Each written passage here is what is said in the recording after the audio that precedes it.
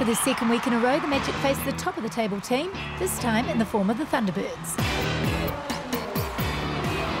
The Thunderbirds' league-leading defensive trio gave the visitors the slightest of advantages as they made the Magic work hard for everything.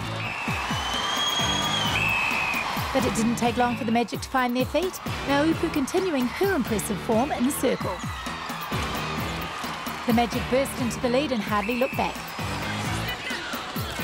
The Thunderbirds continue to fight, but a decisive third quarter saw the Magic outscore them 18 goals to 7, as Williams and de Bruin dominated again. In a brilliant all-round team effort, the Magic continued their remarkable form reversal to take victory 59-42 once we got out there on the court, it was just amazing. You could feel um, the team cohesion and that we were going to come out on top. Nine weeks ago, we were, you know, donut zero on the bottom, and we've gone to the top, which we never thought um, could happen for us. So uh, recover well today and uh, just prepare as much as we can um, for the next game.